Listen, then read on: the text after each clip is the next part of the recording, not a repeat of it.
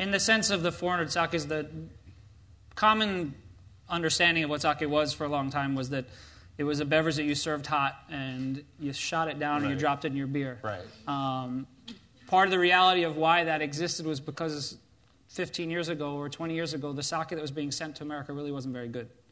Um, I've gotten that admit. I've had brewers that actually admit that. like in a situation where we were drinking and talking, they said, "Yeah, it's not really good stuff. That's why you needed to heat it up because you heat up a sake." It's kind of like chilling down a Pinot Grigio. So you take a Pinot Grigio out of the freezer and it tastes crisp, clean, and beautiful. You heat up a sake, it tastes a little bit sweeter, and all those impurities disappear. Right.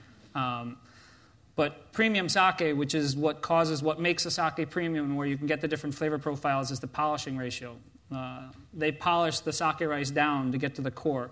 Um, sake, unlike wine, doesn't have sugar or water within the grain itself. So you need to introduce those things to make sake happen.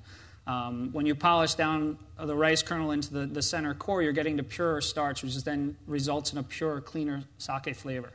Um, that basic aspect is where, where they get the, the rates. Um, but most of your flavor profiles comes from, from the polishing as well as the yeast that they use to uh, ferment.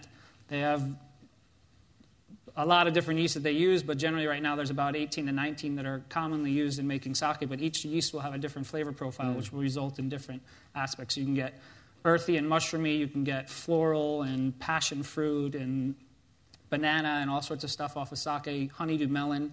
Um, so in those different flavor profiles, you can pick different foods to pair with.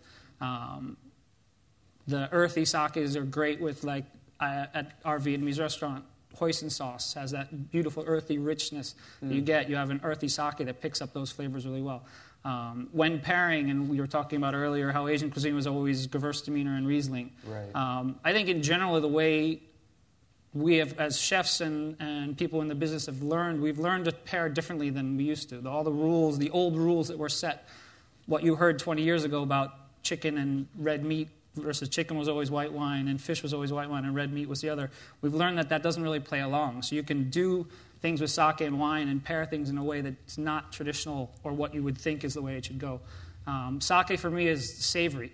Sake with savory food is fantastic because the sake, the rice, is a little bit of natural sweetness in it. Not necessarily sweet like Gewürztraminer or like a very sweet Riesling, but has a little, little essence of residual sugar, and you can pair really well with those foods. I think pairing is always, you always got to sit outside the box, kind of like Cynthia was saying. Outside the box to pair, whether it be a wine, whether it be a sweet wine at the beginning or a sake here where you wouldn't think sake would work. I mean, I've done lemongrass, lemongrass encrusted steak with sake um, because a red wine would never work because the lemongrass, the flavor of the lemongrass and the ginger would kill it. So you get you, sake works better.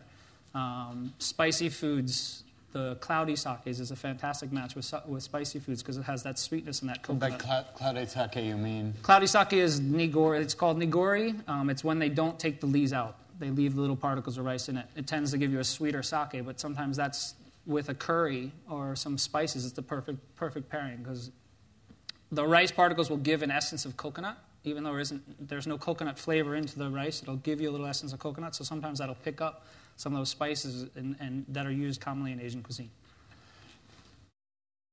For us as consumers, um, going into the going into the wine shop and, and, and looking at, at these many sakes in front of us, can you give us any kind of general tips about how we can know what sake is going to taste like what and what it potentially is going to go with? I realize that's probably a, a huge topic, but Well, maybe a just little some. bit hard. Um, but in general, uh, like really simplified, easy rules.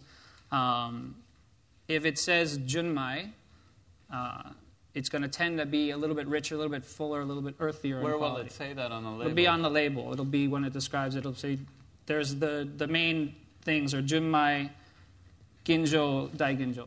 Uh-huh. But the junmai, this is the part that gets confusing. junmai can refer to any level. So it can be a, a junmai is an entry level sake, but then junmai also means pure rice sake. Uh, so it means that there's no other, there's no brewer's alcohol added, which is a whole other lesson, but we'll do that later. Um, I, I'll be upstairs pouring sake later, so you can ask me those questions when we get up there.